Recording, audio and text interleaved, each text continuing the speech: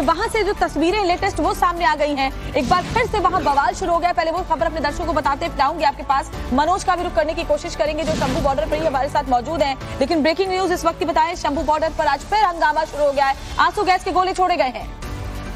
तो कल भी ऐसी स्थिति शंभू बॉर्डर पर देखने को मिली थी और आज सुबह सुबह भी कुछ ऐसी ही खबर मिल रही है कि शंभू बॉर्डर पर किसानों का बवाल लगातार शुरू हो चुका है और उन्हें रोकने के लिए जो पुलिस फोर्स की टीम वहाँ पर तैनात है, वो लगातार किसानों को आगे बढ़ने से रोक रही है। और कोशिश यही है कि किसानों को भी किसी तरीके का नुकसान ना हो, इसीलिए एक बहुत बड़ी चुनौती प्रशासन के लिए बनी हुई है कि कैसे किसानों को बिना उन्हें हानि पहुँचाए, नुकसान पहुँचाए, आगे बढ़ने से रोका जाए। इसीलिए आँसू गैस के गोले उन्हें पीछे हटाने के लिए लगातार छोड़े जा रहे हैं।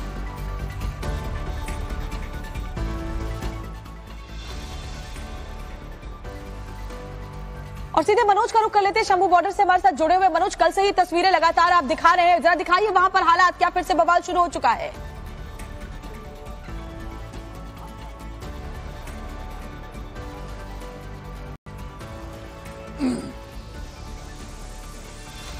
बिल्कुल अभी कुछ देर पहले तीन आँसू गैस के गोले एक बार फिर से दागे हैं क्योंकि लगातार किसान बढ़ रहे थे। चेतावनी दी जा रही थी कि किसान पीछे ना हटें और उसके बाद आँसू गैस के गोले चलाए गए हैं। हम कोशिश करेंगे आपको तस्वीर दिखाने की। आ, मैं कहूँगा विजय नितिन को कि वो दिखाएँ कि क्या हालात इस वक्त यहाँ पर बने हुए हैं।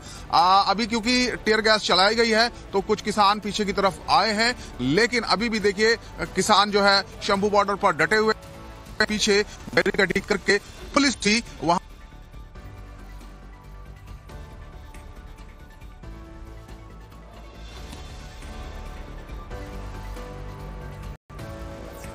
तो शंभू बॉर्डर पर एक बार फिर से हंगामा शुरू हो चुका है। बवाल की तस्वीरें लगातार टाइम्स ऑन भारत आप तक पहुंचाता रहेगा क्योंकि हमारी टीम शंभू बॉर्डर पर इस वक्त मौजूद है, जो बताएँगी आपको कि फ़िलहाल वहाँ पर क्या स्थिति है।